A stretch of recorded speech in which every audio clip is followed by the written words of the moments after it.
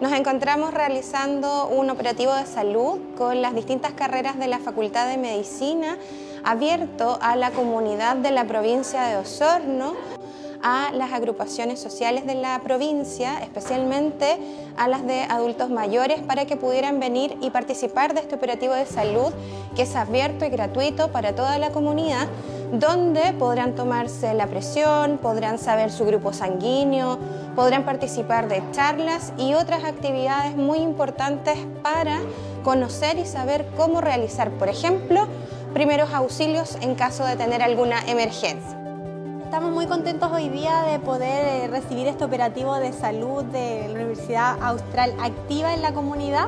eh, que convoca distintas carreras de la salud que están eh, dando presentaciones, están informativos y distintas actividades de promoción y prevención de salud para nuestra comunidad. Esto ha sido muy bien recibido por las distintas agrupaciones comunitarias con las que contamos actualmente en Osorno y creo que es una instancia súper importante para poder visibilizar el trabajo que se está haciendo desde la universidad con la integración de la comunidad.